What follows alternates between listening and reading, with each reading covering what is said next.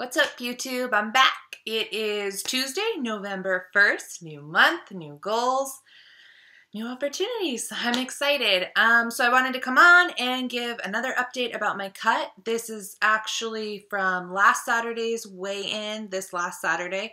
So that would have been October 30th, um, and it would have been the end of four weeks dieting or in this diet phase or diet cycle. Um, so it was a good week. I lost 0.7, which is 0.1 less than last week. Um, so that means for the entire month of October, I mean, basically minus two days or whatever, um, the last two days, uh, I lost three pounds total. So, I mean, that's good. It's in the right direction. It is only a small amount and it's about a third of the weight that I gained in Vegas or and or after Vegas for those two weeks of um, not eating badly. Um, I also wanted to share like the significant changes in my measurements or whatever. Um, my bust went down by half of an inch, my hips went down by one full inch, and then my waist went down by a quarter of an inch. Um, so I do take my measurements every time that I weigh. I don't I do it by the quarter inch, um, so I'm not doing like centimeters or anything, but it can be really reassuring to see the measurements going down as the weight is going down, or sometimes when the weight isn't going down as quickly as I want, the measurements just really help. And then usually I don't um, compare like week to week i more compare you know like this week one to week four um, so you can actually see the more significant jumps um, but i still do record the measurements every week. Um, so i feel pretty good about my progress. I mean i keep saying in all these videos it's just such a reminder of how long this process is how committed you really have to be. Um, it feels like such effort and then such small results. And that's like part of that is situational for me because i have been um, in a caloric deficit to what my maintenance calories should be for coming up on two years. So my metabolism is going to be very slow. Um, it's going to be, you know, mostly adapted to these changes. That's part of why I implemented carb cycling again. I have to be really careful where my fats are at um, since my hormones, um, you know, they down regulate when you're in a caloric deficit, if you didn't know that. Uh, so I don't want to mess up anything permanently. So all of these things I have to be really mindful, and I also have to accept the fact that that means slower progress, slower results.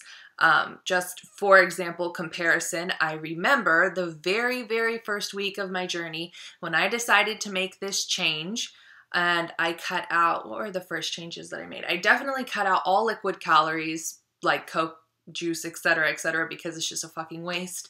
And um, I'm trying to think like what other like tangible major changes. I'll to look at my journal for that one. But anyway, uh, the point is, I remember I lost seven point like five, I believe, pounds in one fucking week. Like, mm, to get back to those days.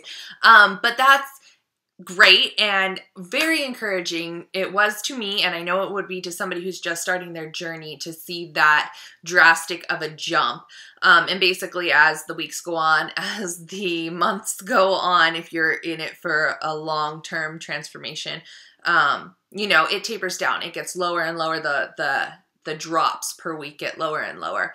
Um, so like i said I'm okay with my progress. I know why it's going slower, um, despite eating to my macros, you know, despite uh, working out as hard as I do or whatever. Um, so yeah, but I'm so, I'm pleased. Three pounds down in a month. So I think that my original goal of the first week of February is actually incredibly tangible and uh, spot on.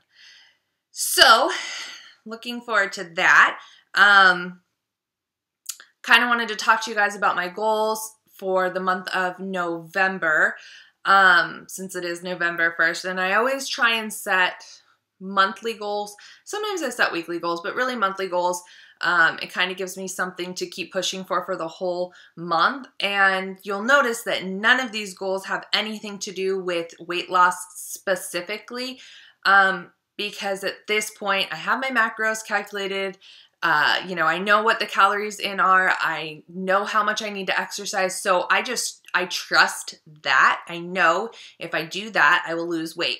So these goals are more for, I mean, I guess to aid in weight loss, but slash personal as well. Uh, the first thing is to up my water intake. I'm always so um, bad about that. I'm always, I feel like at the end of the night, I'm always chugging to get that water in. And then that doesn't do you any good because you really just pee that out. like you want to do your um, gallon or gallon and a half or however much according to your body weight uh, throughout the day so that you can just stay hydrated and, and replenished throughout the day, not just all in one sitting and then piss it all out what's the point of that?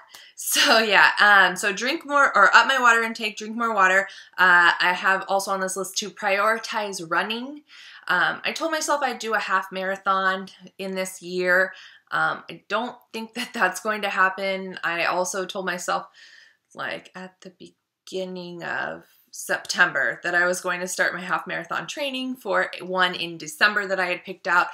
Um, but I just slacked on it. I mean, I just, I wasn't enjoying running on the treadmill. This is going to sound like a bunch of excuses, but I really wasn't enjoying running on the treadmill. It just doesn't have the same um, feel to it. And I just, I like lifting so much more that I was really prioritizing that and wanting to reserve my energy for that rather than running, rather than cardio. So, I mean, a couple factors, but the bottom line is I didn't start focused training for a half marathon. I do cardio um, almost every time that I work out, but it's like walking on a treadmill for 20 minutes. It's not actually training for a half marathon. Um, so I want to reprioritize running because now that the weather's finally starting to cool down, if you're from Southern California, you know what I'm talking about finally starting to cool down. Um, I think we had a 90 degree day like two days ago, so I guess I shouldn't uh, count my chickens before they're hatched. But finally starting to cool down, so I will be able to go on some more runs and um, just enjoy that because once I do get out there and I start running, um, I went running on Sunday instead of the gym. Um, I'm just reminded about how good it is for my soul. I mean, yeah, it's a great calorie burn. Yeah, I really like to sweat. Yeah, I like to challenge myself and go up the hills and, you know, this and that. But um, really just the sights, the views, the, the like fresh air, just, it's really just good for the soul.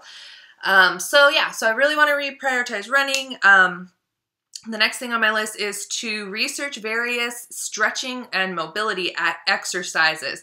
Um, I foam roll and stretch after uh, lifting uh, in the gym every single day um, because larger range of motion actually equals better gains. So the more flexible you are, the larger the range of motion, the more you are stretching and tearing and putting all the pressure on your muscles, the bigger they will grow, the faster they will grow. So, stretching is actually a form of muscle recovery, muscle support, and muscle building. So, I foam roll and stretch every day at the gym, but I mean, I kind of do the same. You know, go to moves, the same exercises, whatever. So, one of my goals this month is to just find some new stuff and switch it up um, and continue with the daily stretching because it's really it really helps me out. It it I can tell a difference if I forget or if I skip it or whatever, um, which doesn't happen often because I just I get so sore if I don't. So